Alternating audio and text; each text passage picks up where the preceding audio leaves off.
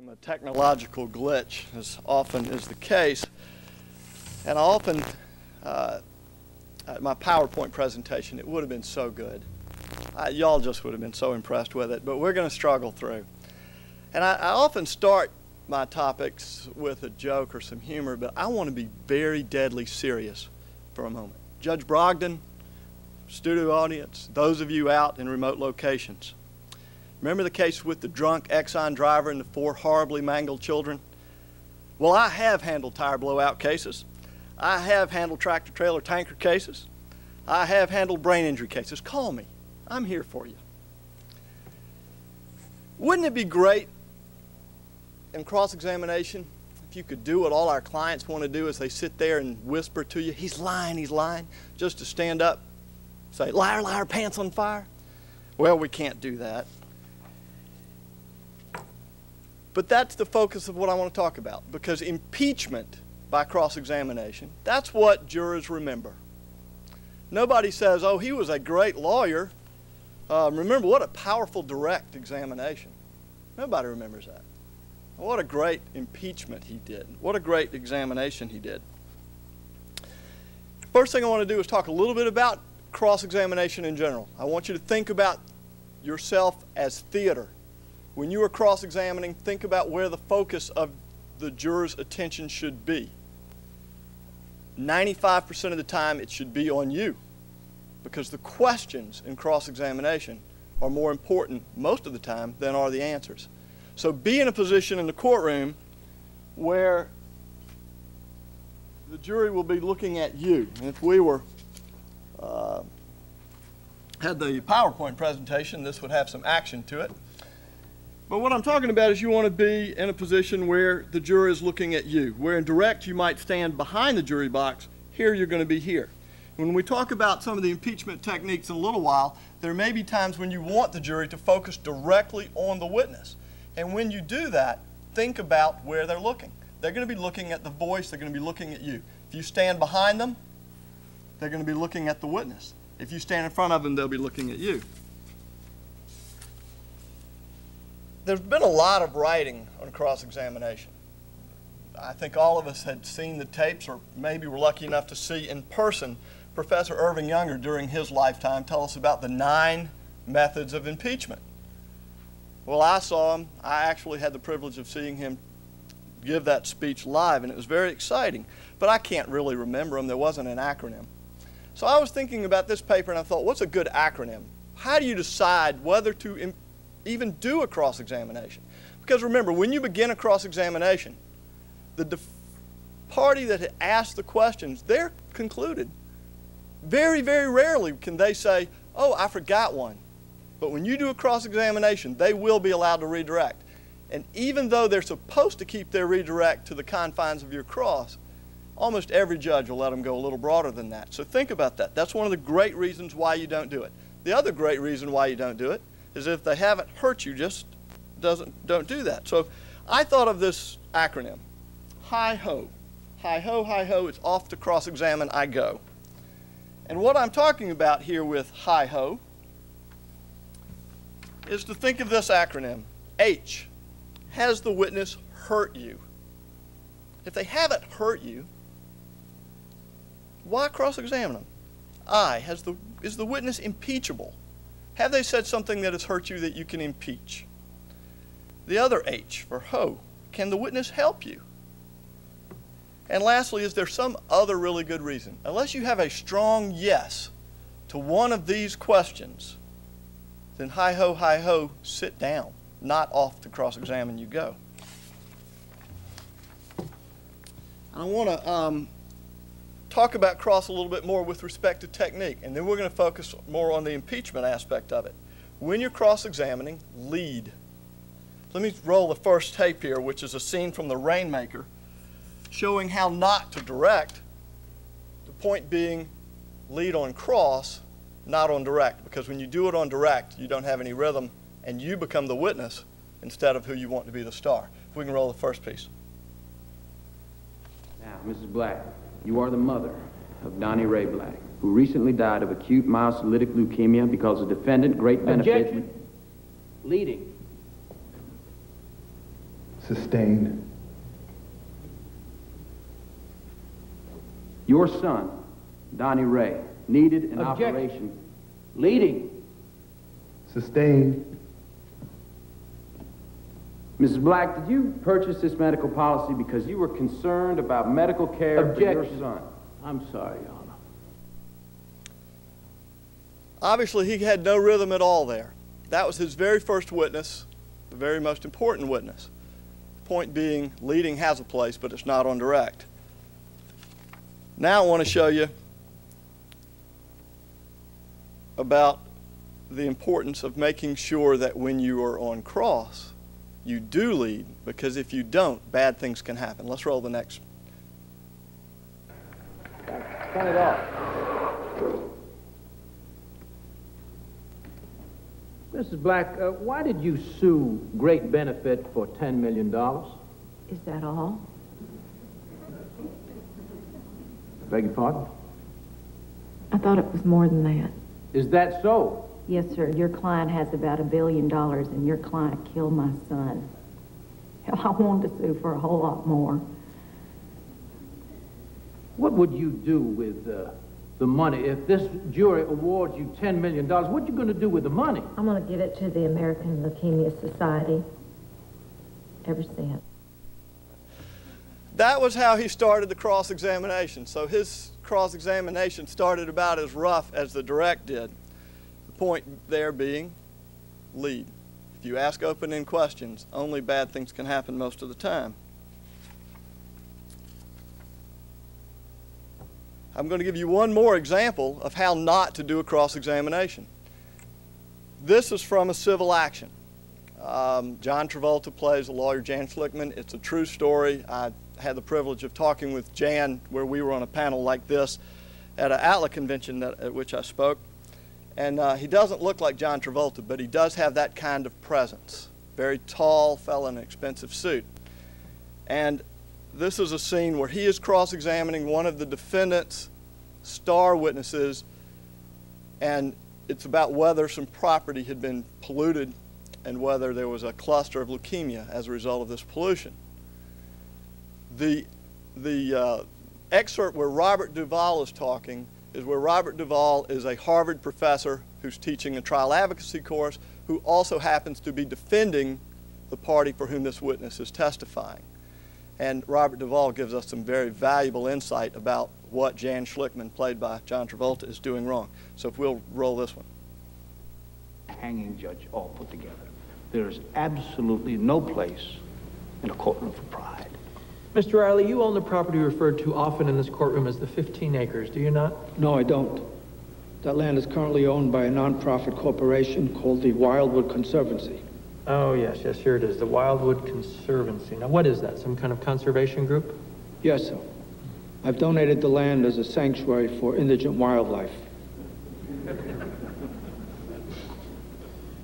Well, you know, I don't think the indigent wildlife has heard about this, Mr. Riley. I've been out there on several occasions, and I've yet to see a single bird or any other living thing. I get him to say no, no, no, no, no, then he says yes once, got him. He's not that stupid. You leave him up there long enough, he's gonna figure out a way to get you. I'm not that stupid. Mr. Riley, experts have testified in this court that your land, your 15 acres, is the most grotesquely polluted land in all of New England. Now, you have no idea how it got that way. No, sir. Does it upset you to learn this? Very much so. Really? Why? And one last thing. Unless you know exactly what the answer is going to be, never, ever ask a witness why.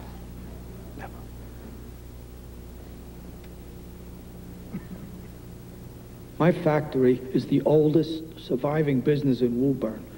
When the other tanners moved out, I stayed, even though for me that was a very big financial burden. This is not the I question. stayed because Woburn is my home. Mr. Riley, Your Honor, this is home. not the question. He's trying to answer it, Mr. Schlichtmann. Well, he's not If you'll just answering let it. him.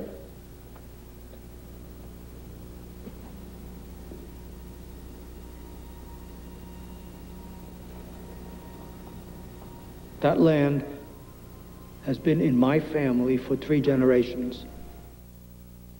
And obviously, Mr. Slickman made an error there. That was one why question that I'm sure he wished he hadn't have asked. And if you recall the book, that defendant offered $20 million and the verdict against that defendant came back as zero and they eventually settled with the other one for around $8 million. So whether that particular exchange was what did it, we'll never know, but it certainly didn't look good. So let's, we've talked about some, some theater about cross-examination. We've talked about the need for leading questions. I want to focus now on the topic, liar, liar, pants on fire. Impeachment. Well, I looked at Professor Irving Younger's tapes, and I've read his stuff, and I've read lots of stuff, and I just couldn't think of any way to remember an acronym for impeachment. So I invented one. And if you'll show the uh, viewer here, wham bam, wham bam, I'm getting ready to impeach. You're going to impeach mostly by these six letters. Wham. That's words, actions, and memories. Words would be depositions, books, prior testimony, the words of others. Actions. That would be an expert. Did he do the right test? Did he follow the right methodology? And in federal court, that's essential these days, methodology. From a lay witness, did they observe properly? Could they observe what they said they observed? Was their action sustainable as truth? Did they have the ability to see? Memory. Well, generally we use words to prove that their memory wasn't right. Did, was your testimony six months ago better than it is now? Was your memory better? Things like that. But memory's an easy one. Bias. So that includes prejudice. Do they have an axe to grind? Are they getting paid a lot? Are they a company official? And I'll lump the last two attitude and manner. And that's when you cross examine and impeach. Sometimes some witnesses are just jerks. And if you can show they're a jerk and take advantage of it, then you have impeached their credibility by proving that aspect of their character to the jury in a way that will destroy whatever they said on direct.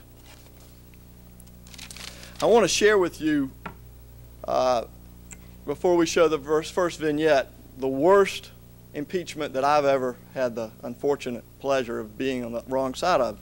Real case tried in the state court of Bibb County. It was an automobile collision. The woman said that she had hurt her back quite seriously, and that was her representation to us. And we found no medical records from the doctors she identified and any we were able to chase down that impeached that. And after she was very adamant in direct testimony to establish how healthy she was before this car wreck, the cross examination after a few introductories went something like this Ms. Witness, you told us on direct you'd never had a back injury. Isn't that true? The witness, yes, that's true. Well, isn't it true that you broke your back in 1991? No, that's not true. Isn't it true that you fell through an attic floor and broke your back in 1991? No, never. Isn't it true that you fell through an attic floor, landed on a chest of drawers, and broke your back in 1991? No, that just didn't happen. Isn't it true that you fell through an attic floor, landed on a chest of drawers, and broke your back in 1991, and that you went to the Grady Hospital where you were x rayed and told you had a broken back? No, sir. I went to the Georgia Baptist Hospital. Let's show this first one, which is a, um, a scene from The Rainmaker. And in this case, what I want you to look for is both the use of prior testimony, her testimony from direct, as well as the use of words of another person. We see this all the time in personal injury cases where they hold up a medical record that is not admissible in and of itself, but somehow get that record into evidence through the use of part of that record as cross examination questions. Let's roll this tape and we'll see what they show. A year in the United States, less than 200 in the state of Tennessee. Objection, Your Honor, he, he's leading the witness. This is cross-examination. Leading is allowed. Overruled. As to leading. So it was not covered by the policy.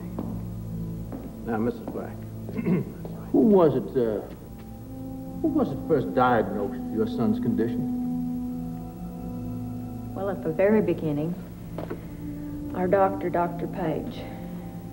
That would be your, your family physician. Yes, sir, it would. Is he a good doctor? He's a very good doctor. And is it not true, Mrs. Black, that this capable, truthful man told you repeatedly that a bone marrow transplant would do your son no good because of the type of leukemia he had? Well, no. No, he did not, he didn't say that. Not like that, to me. Approach the witness, Your Honor. You may. Mrs. Black, is this not uh, Dr. Page's uh, letterhead? And at the bottom there, uh, is that not his signature? He can't do that. Yes, it is. And is this letter not addressed? He addressed can't introduce evidence that way, plus it's hearsay. Objection, Your Honor. Uh, a letter from, from the Black's family physician to Mr. Drummond is inadmissible. That is quite correct, Your Honor. And I'm not asking for this letter to be admitted into evidence. I'm simply asking that this witness be allowed to read the letter under Rule 612 of the Tennessee Rules of Evidence so her recollection can be refreshed, that's all. Mr. Baylor, what do you say? Uh, I, don't- I don't know, Your Honor. I just object to this. And, and also, we were not furnished this letter in, in pretrial discovery. What do you say to that, Mr. Drummond? Your Honor, I had no idea this letter what they had done there, and we see it all the time, he's taking a record that is indeed hearsay, which is indeed inadmissible, and they are thinking of a clever way, whether it's refresh recollection or whatever, to incorporate it into the cross examination and impeach the witness. I think there's a little more on that particular uh, tape where we show the conclusion of this particular effort, if we can roll it. Two. But don't stray too far. Very well, Your Honor. Now, Mrs. Black, does that letter refresh your, your recollection as to whether or not Donnie Ray's leukemia was the kind that could be helped by bone marrow transplant? Well, see, now, he is not a specialist. But he is a licensed, experienced, capable physician who lovingly told you time and time again what you quite understandably did not want to accept that your son was going to die of leukemia despite the best efforts of medical science. Is that not true? But he wasn't a specialist.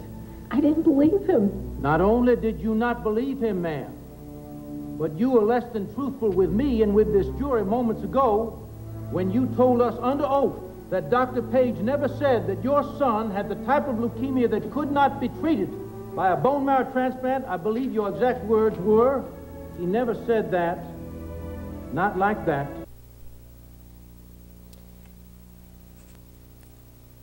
Let's, uh, we're going to move to the next one, which is a, a clip from The Devil's Advocate.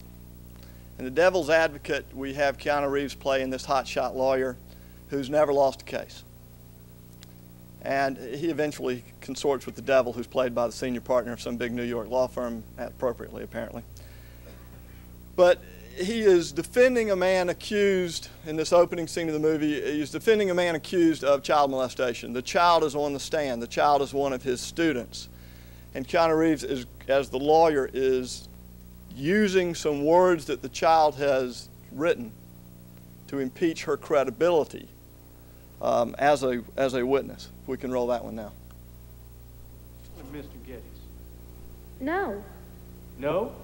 Never called him a disgusting pig monster. Order. No. Your Honor, I pre-marked this defense exhibit A. Objection, Your Honor. We've had plenty of time for discovery here. I'm gonna let this in, Mr. Lomax. I'm also gonna suggest that if you have any other exhibits you present in a timely fashion or not at all.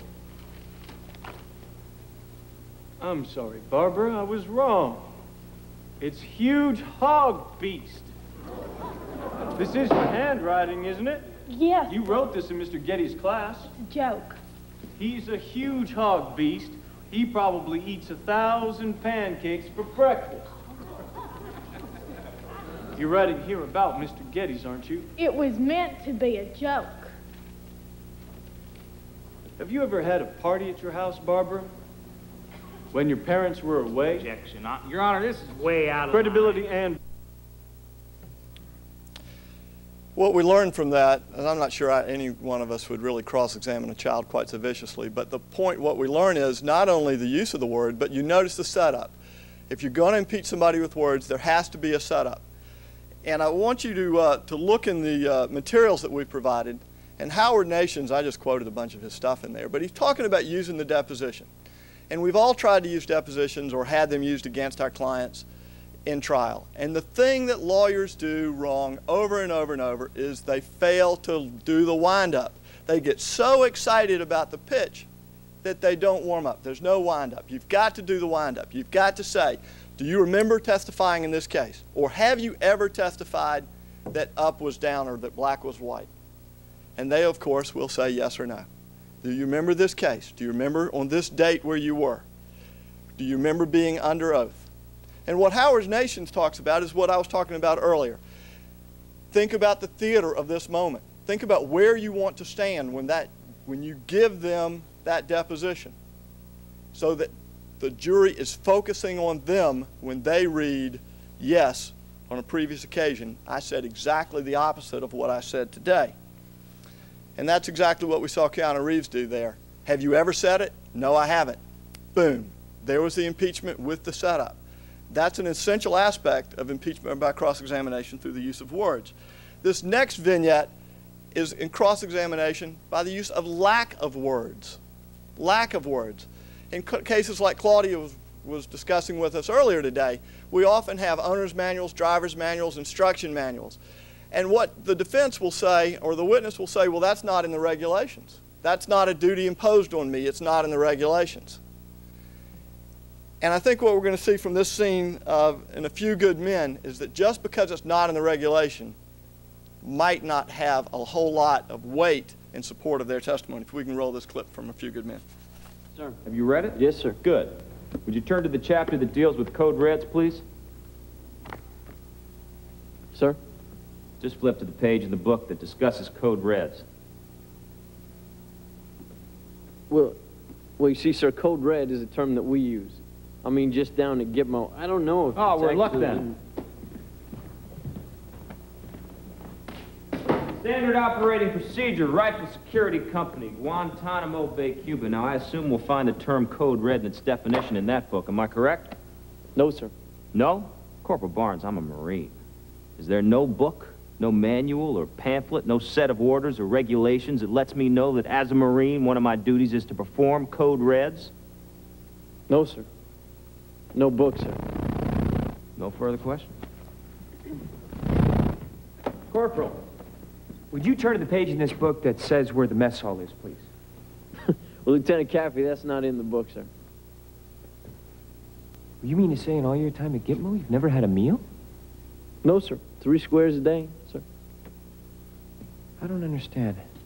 How did you know where the mess hall was if it's not in this book? Point being, it's the exact same thing. How do you know to drive reasonably if it's not in your book? How do you know to keep your logbook properly if it's not in your book? You can use these as impeachment to just show that their direct is ridiculous, their reliance on the written word is ridiculous. This next, we've, we've talked about some words. Let's go to the next wham bam acronym letter, and that's actions. One of the best ways that uh, we can show action is, it's hard to find any movies on this. Uh, it, it, what's great fun is with an expert is to take things he's written. Um, I have some video that I would have run out of time, but we, we had a cross-examination of an expert on an ergonomics issue.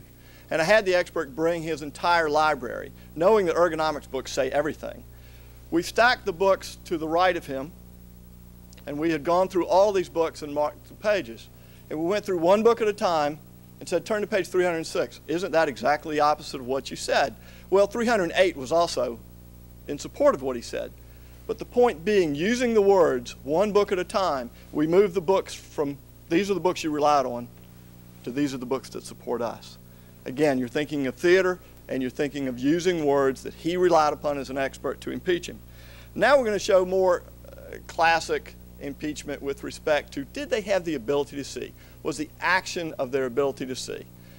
Um, so let's, this is a vignette from that really intellectual movie, My Cousin Vinny.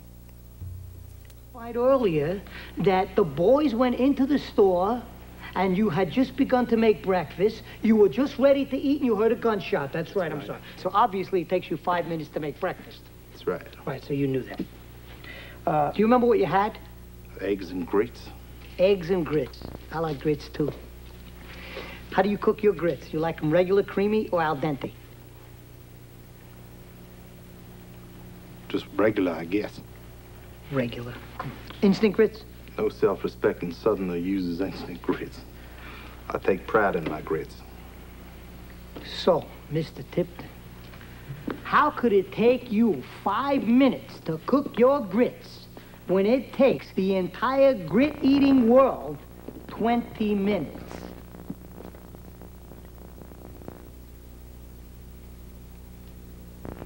I don't know. I'm a fast cook, I guess. I'm sorry, I was all the way over here. I couldn't hear you. Did you say you're a fast cook? That's it?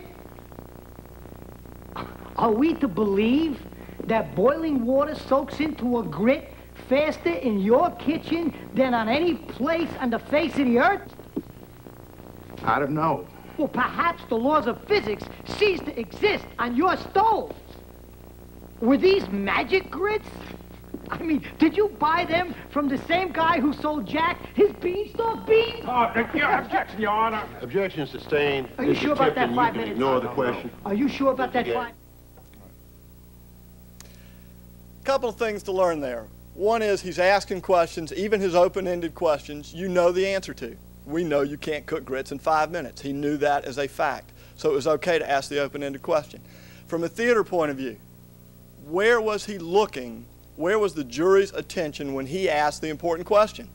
He's right there in front of the jurors. He was the star because the question was the star, not the witness. We're gonna. Um, I think there's another vignette from that this same movie.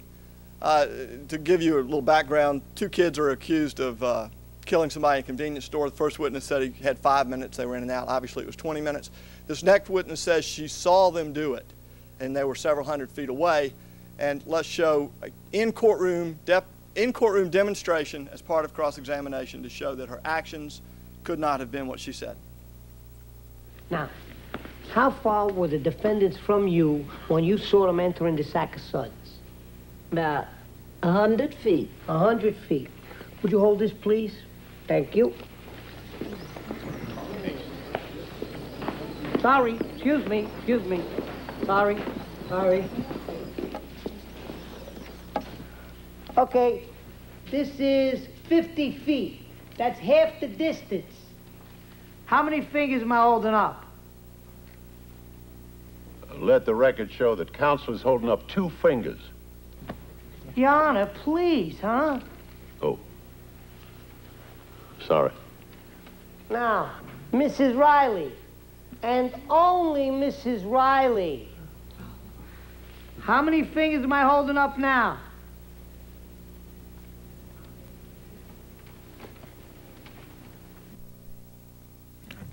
Well, she didn't have any idea.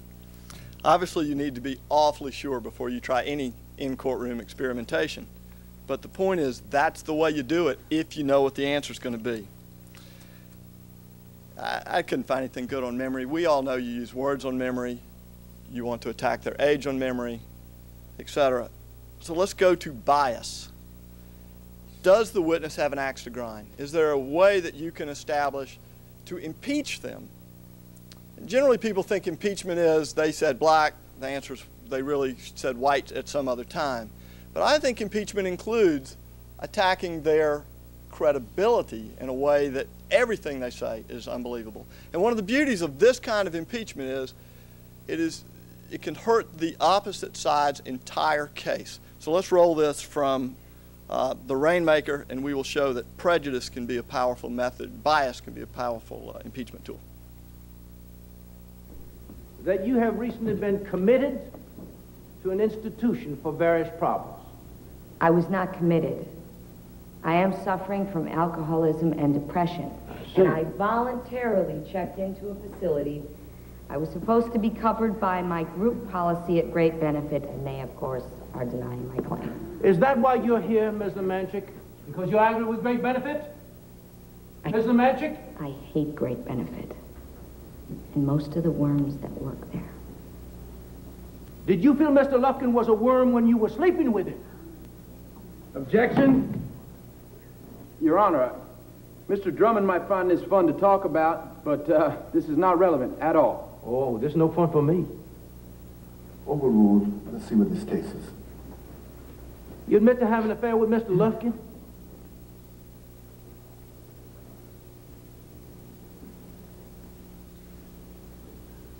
Mr. Magic?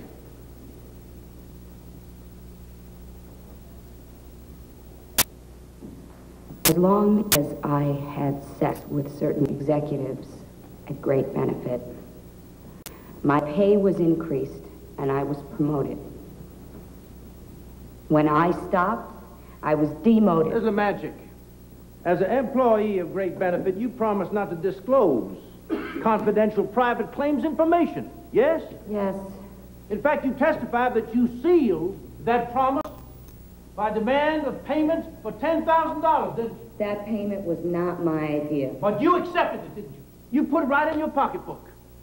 Even though in your mind you never intended to keep that promise. In fact, you were very angry at great benefit and Mr. Lufkin, weren't you? You know, they preyed on me because I was broke and I was single and I had two kids. So you told him you're going to go to his wife, go to the newspapers, and that ten thousand dollars that was just a that was just a piece of blackmail, wasn't it? A way to extort money from the company you hated.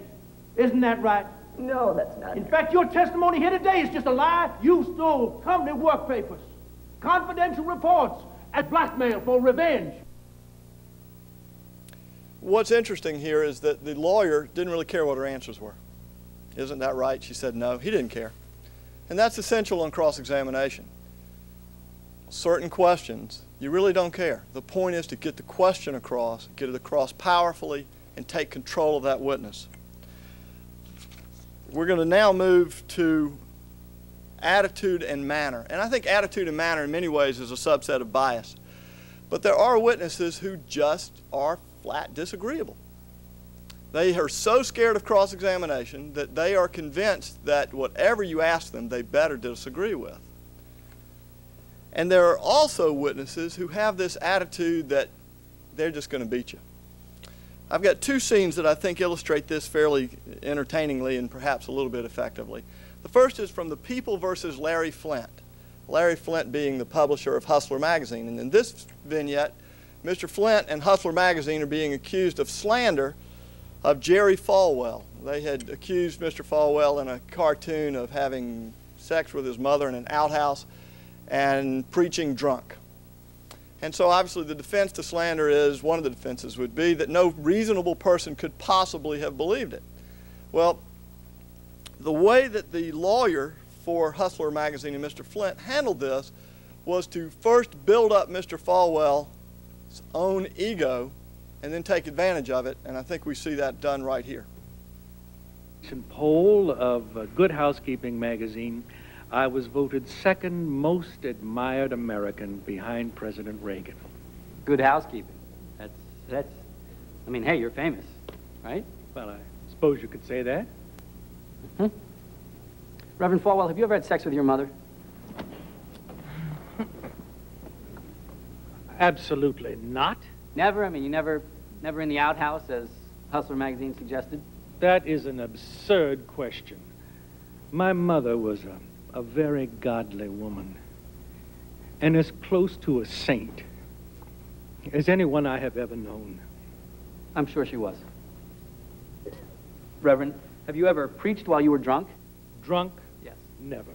Never. I mean, you never even had a few too many at lunch and then went back on the radio once? That is a totally outrageous suggestion. Totally outrageous? Totally. You don't think that some people, Reverend Falwell, despite your reputation, might have reason to believe that you could do that? I would find that very difficult to believe. So really what you're telling me is that nobody could reasonably think that these statements about you were true. That pretty much gutted the libel and slander case. And he did that by taking advantage of the man's ego. And that goes to this attitude and manner aspect of wham bam impeachment. Uh, this last vignette is, I think, a more famous use of attitude. In this case, we are looking at an excerpt from A Few Good Men. And if you'll recall, we've seen an excerpt from this earlier. Two Marines are accused of beating someone to death during a code red, which was a disciplinary action. at Guantanamo Bay in Cuba. Uh, Jack Nicholson plays the commanding colonel of that base, and he is full of himself. From the get-go, they know that he's full of himself, and Tom Cruise is, is risking his profession because he's got nothing else on this cross-examination other than his gut feeling that this witness will crack because his attitude and manner is such that if you push him to the wall, he'll just tell you to go to hell. And that's exactly what he does. So let's watch this. What's that? I'd appreciate if he would address me as Colonel or Sir. I believe I've earned it. Defense counsel will address the witness as Colonel or Sir. I don't know what the hell kind of unit you're running here. And the witness will address this court as Judge or Your Honor. I'm quite certain I've earned it. Take your seat, Colonel.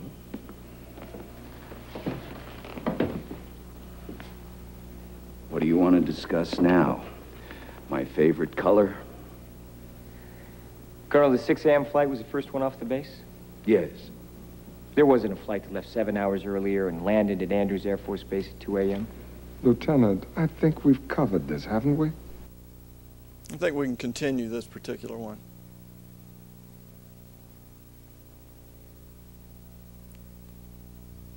A moment ago, you said that you ordered Lieutenant Kendrick to tell his men that Santiago wasn't to be touched. That's right. And Lieutenant Kendrick was clear on what you wanted? Crystal. Any chance Lieutenant Kendrick ignored the order? Ignored the order? Any chance he forgot about it? No. Any chance Lieutenant Kendrick left your office and said, the old man is wrong? No. When Lieutenant Kendrick spoke to the platoon and ordered them not to touch Santiago, any chance they ignored him? You ever served in an infantry unit, son? No, sir. Ever served in a forward area? No, sir. Ever put your life in another man's hands? Asked him to put his life in yours? No, sir. We follow orders, son. We follow orders or people die. It's that simple. Are we clear? Yes, sir. Are we clear? Crystal. Colonel, I have just one more question before I call Airman O'Malley and Airman Rodriguez. If you gave an order that Santiago wasn't to be touched, and your orders are always followed, then why would Santiago be in danger? Why would it be necessary to transfer him off the base?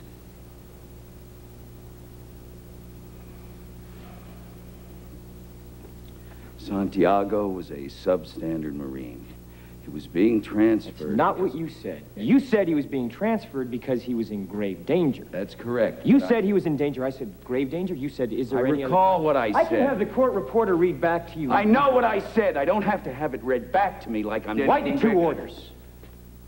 Colonel? Sometimes men take matters into their own hands. No, sir. You made it clear just a moment ago that your men never take matters in their own hands. Your men follow orders or people die. So Santiago shouldn't have been in any danger at all, should he have, Colonel? You snotty little bastard. Your Honor, I'd like to ask for a recess. I'd like an answer to the question, Judge. The court will wait for an answer. If Lieutenant Kendrick gave an order that Santiago wasn't to be touched, then why did he have to be transferred? Colonel, Lieutenant Kendrick ordered the code red, didn't he? Because that's what you told Lieutenant Kendrick to do. Object! And when it went bad, you cut these guys loose! Your Honor, You Counsel, had I'll markers hold you in inside a phony contempt. transfer. Your Honor. You doctored the logbook. Damn it, Captain. You coerced the doctor. Consider No one yourself in asked you. contempt. Colonel Jessup, did you order the code red? You don't have to answer that question. I'll answer the question. You want answers? I think I'm entitled. You want answers? I want the truth! You can't handle the truth. Son, we live in a world that has walls, and those walls have to be guarded by men with guns. Who's gonna do it? You? You, Lieutenant Weinberg? I have a greater responsibility than you can possibly fathom. You weep for Santiago and you curse the Marines. You have that luxury. You have the luxury of not knowing what I know. That Santiago's death, while tragic, probably saved lives. And my existence, while grotesque and incomprehensible to you, saves lives. You don't want the truth because deep down in places you don't talk about at parties, you want me on that wall. You need me on that wall. We use words like honor, code, loyalty. We use these words as the backbone of a life spent defending something. You use them as a punchline. I have neither the time nor the inclination to explain myself to a man who rises and sleeps under the blanket of the very freedom that I provide and then questions the manner in which I provide it. I would rather you just said thank you and went on your way. Otherwise, I suggest you pick up a weapon and stand a post. Either way, I don't give a damn what you think you are entitled to. Did you order the code red? I did the job. Did you order the code red? You're goddamn right I did!